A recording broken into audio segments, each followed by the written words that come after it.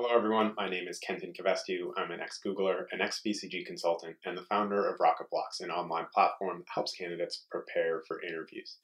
In today's RocketBlocks mini lesson, we're going to talk about an important generalized piece of career advice, which is how to write a career networking blurb. This is something that no one ever really seems to talk about, but is really critically important in the networking process and landing a job for a lot of different folks in all sorts of different career paths consulting, product management, analytics, you name it. Any sort of career path you're looking at, this is often a critical step in getting your foot in the door.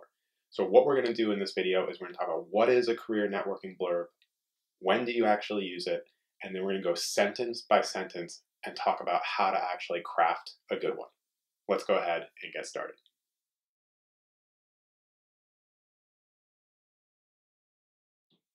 Okay, so what is a written blurb? It is a four to five sentence written blurb that you can use to give a teaser of your career experience to date and connect it directly to your intent and interest in a specific career opportunity.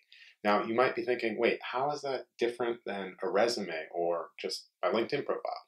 And the reason it's different is because both of those documents, the resume and LinkedIn profile, are a general, all purpose description of your career and professional experience to date.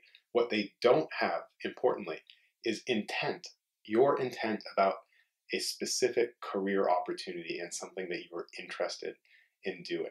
And that is the key difference between those documents and a career networking blurb, which is going to take a little bit of your, your professional experience, but specifically connect it and signal your interest in a specific opportunity.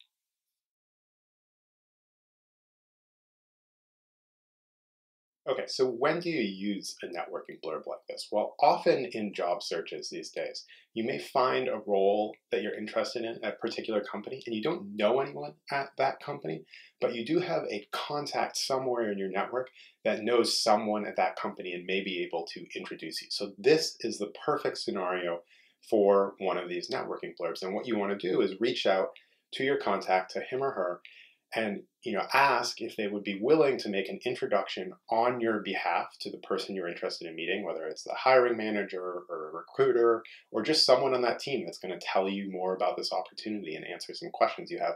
And in that email you send to them you pass along your networking blurb and that means that whoever's on the receiving end of that email not only gets an email that just says, hey, there's someone that's interested in this role, but they get a little blurb that says, hey, here's Kenton, here's his background, he's really interested in X role. And then it gives that person a lot of context about your interest and about who you are that immediately helps them evaluate whether you might be an interesting fit for that role and gives them the information they need to either accept that introduction or to reach out to you directly. Okay, so that's when to use it. Now let's move to the next section. We're actually going to look at one of these blurbs and break it down sentence by sentence and figure out how to craft one.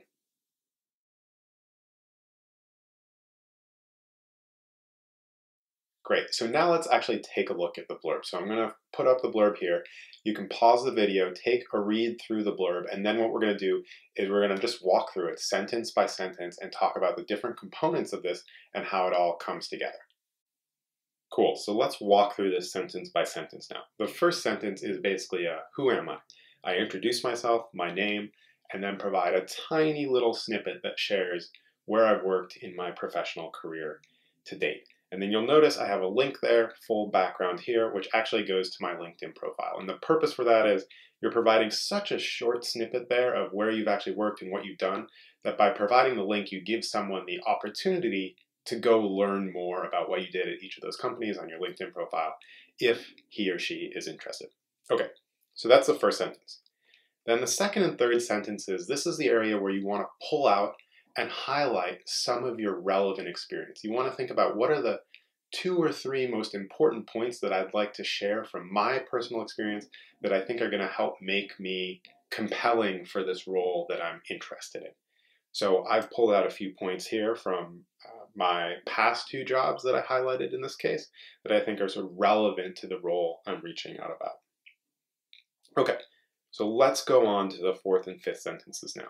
This is where you indicate what role you're specifically interested in and what you're reaching out about. So this is a fictional role at YouTube that I've made up, And then you connect your interest and experience directly to that role and talk about how you think you'd be a good fit for, you know, X and Y reasons.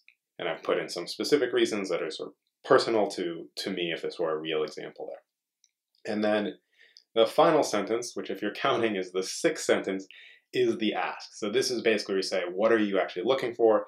In this case, I'm asking for a chat to learn more about this role, and I specifically call out how he or she can reach me if they're interested in following up on this. And that's important. You want to make it clear how they should take action if they want to, so that you don't write potentially a great networking blurb and then have the impact of it go by the wayside because someone isn't quite clear how they should reach out or your email isn't in there and then you know they get busy and, and lose track of things.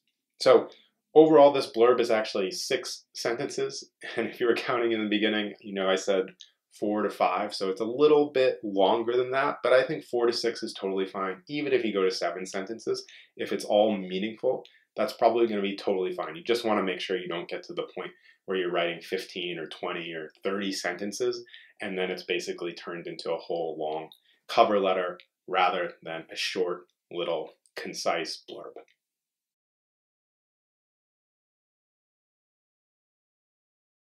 Okay, that should give you a good idea of what a career networking blurb looks like and how to craft an effective one. I think that these blurbs are actually really tough to write, even though they're only four to seven sentences, as we said. But if you invest the time to write them, I think they can be one of the highest ROI pieces of writing you'll ever do in your career.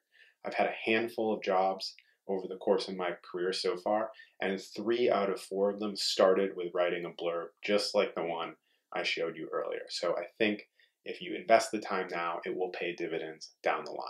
So thank you so much for watching. We have a ton of great content coming out on both the product management and consulting career paths. So if you haven't subscribed yet, there is a big red button below. We'd love for you to do that now. And thank you so much for watching. Have a great day, and we'll see you soon.